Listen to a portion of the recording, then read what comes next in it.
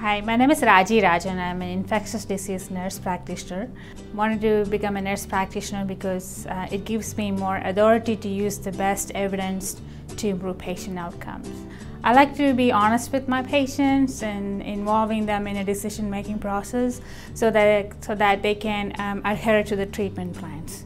I'm from India. Um, I did my nursing degree in India and then I came here to US in 2005.